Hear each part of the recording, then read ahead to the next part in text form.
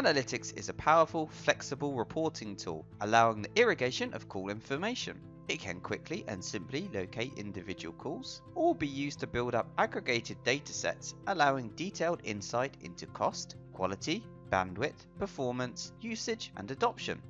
To access the Analytics module, either click on the Analytics tile on the homepage, or select Analytics from the module's drop-down list.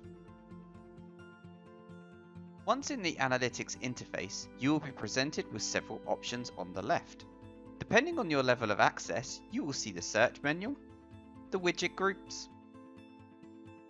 my widgets, and import widgets.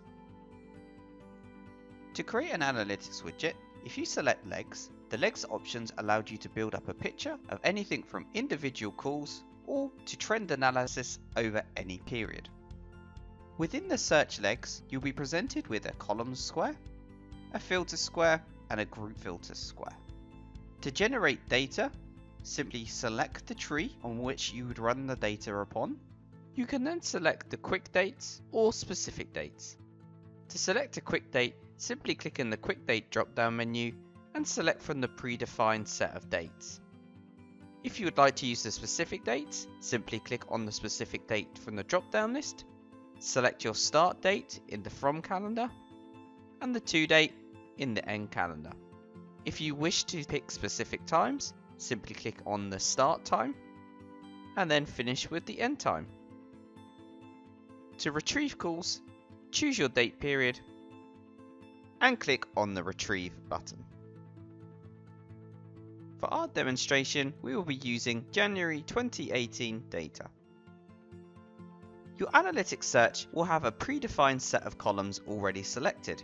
If you wish to add more columns to your search, you can do this simply by coming over to the fields on the right hand side and selecting either a dimension or a measure by clicking on these drop down lists and dragging and dropping the field into the column list or click into the list where the cursor is now blinking and start by searching the list by typing in a wildcard search to find the field that you are looking for.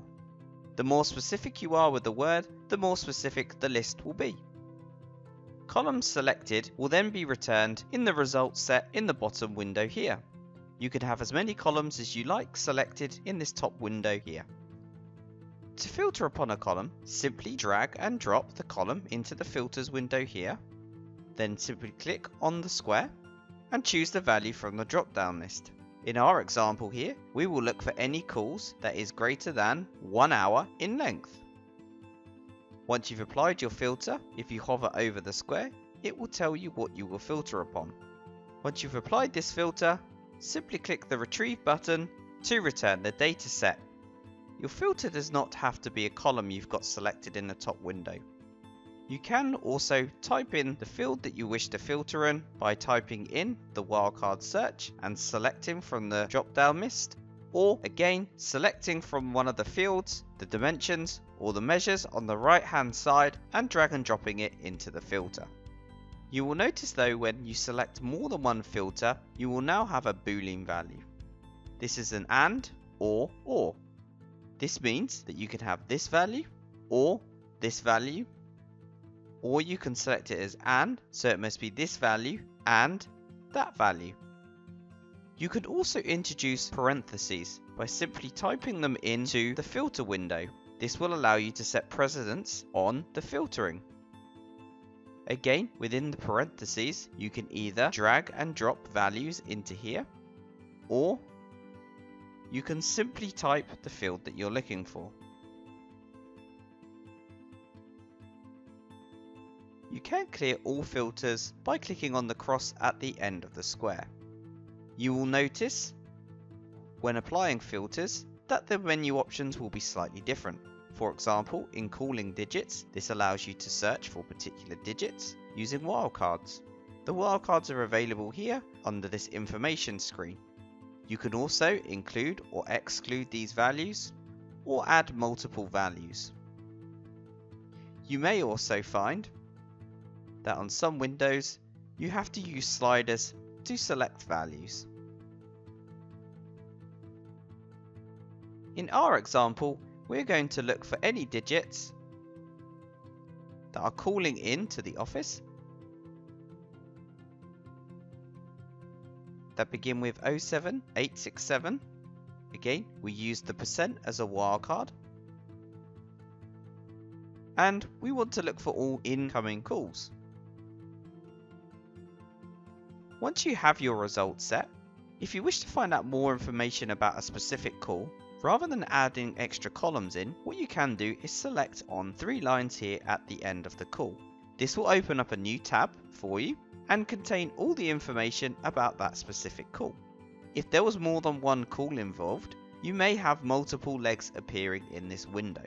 But to find out more information about that call, simply click the leg that you're interested in, then on the left hand side, simply select these options here and it will display more information about the specific call. To return back to your previous window, simply click on the previous tab on your browser window. You can also remove individual filters by simply clicking on the cross at the end of each menu option. You also have the ability to reorder the columns, to do this, just simply drag and drop the columns into the order in which you wish to see them. Within analytics, you can also run mathematical statistics about your data. So, to do this, what you'll need to do is create what's called a widget. Widgets are built up by running mathematical statistics against your dimensions using measures. You will notice a key distinction between the two colours of the fields. The darker colours are dimensions, and the lighter colours are measures. So in our example here, we want to find out how long we've been on the phone to specific call categories, what the total amount of talk time to the specific call category, what our longest call was to that, and an average talk time to the category. So to do this, I will first remove all our filters. I will then leave the call category column available along with talk time and remove all our other columns. And I will also leave our leg count. Our leg count will tell us how many times we have called that call category. I will then add talk time two more times. And if I now run this, you will now see that I will have lots of different lines. So what I can now do is I can click on these measures and choose a value. So on this option here, I want to sum up the total amount of talk time. On my next option, I then want to look for what is my longest call, i.e. my maximum. So this will look for the largest value of that dataset.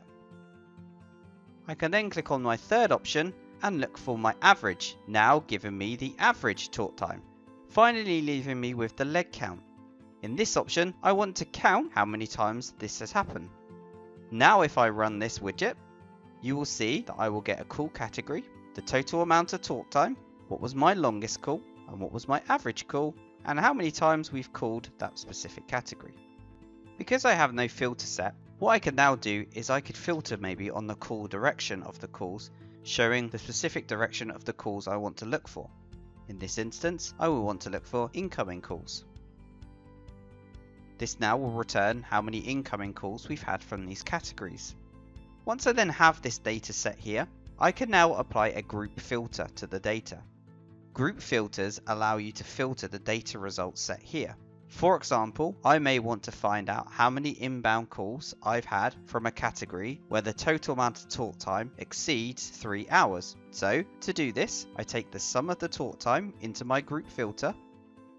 I then say that I want to look for it where it's greater than 3 hours. It will then filter on my result set only show me where the call category has a total sort time of greater than 3 hours. Once you then have this data, you then have the ability to export it to a CSV file or to an Excel document. Or you could click on the export button, share this with a colleague. All you simply do is copy the data, send it in an email to them. They then paste it into the import widget here, click confirm and the widget will appear exactly the same as it did on your screen on their screen. Finally, you have the options to save the widget by clicking on the save button and giving the widget a name.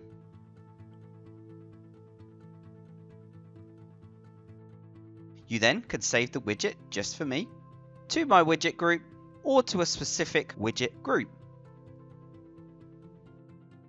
Once you have created your widgets, you can simply then come over to the left hand side and select your widget. In here, you can then again choose your dates from your drop down list. And within saved widgets, you can also filter within each column.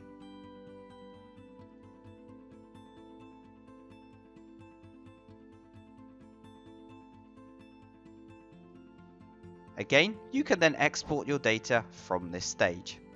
Thank you for watching. We hope you have enjoyed this tutorial on analytics. If there's anything else you would like to learn about Tiger Prism and its other modules, please visit www.tigercomms.com for more tutorials and information.